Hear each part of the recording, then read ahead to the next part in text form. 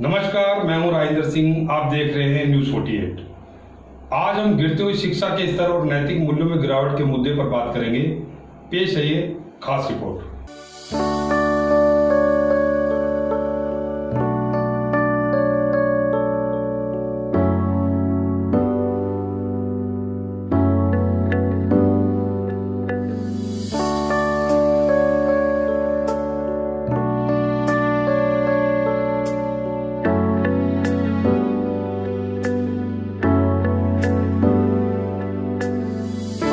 शिक्षा के स्तर को कैसे सुधारा जाए और नैतिक मूल्य में गिरावट का जिम्मेदार कौन के मुद्दे पर स्कूल संचालकों और शिक्षकों से आइए दिखाते की गई बातचीत। मैं Anuruddh Vyas, modern Vidya Niketan senior secondary school Hodal से चेयरमैन। शिक्षा के क्षेत्र में हम पिछले 18 साल से कार्य कर रहे हैं और लगभग हमारे पास मोर देन डेढ़ हज़ार स्टूडेंट्स हैं। शिक्षा के स्तर में योगदान जो है, सबसे पहले वो अध्यापक का है, उसके बाद मैनेजमेंट का है और उसके बाद अभिभावक का है। यदि एक अध्यापक अपना एक विद्यार्थी अच्छा बनाना चाहे तो उसके लिए वो चीज़ असंभव नहीं है। बसरते उनको पेरेंट्स अभिभावक भी पूर्ण सहयोग करें। अभिभावक पूर्ण सहयोग करने की व्यवस्था में आज नहीं रहे। उसका रीज़न सबसे बड़ा कि आज जो बच्चे हैं, वो सेल्फ ओरिएंटेड हैं पेरेंट्स ओरिएंटेड नहीं है। जो पेरेंट्स चाहते हैं, वो बच्चे नहीं करना चाहते।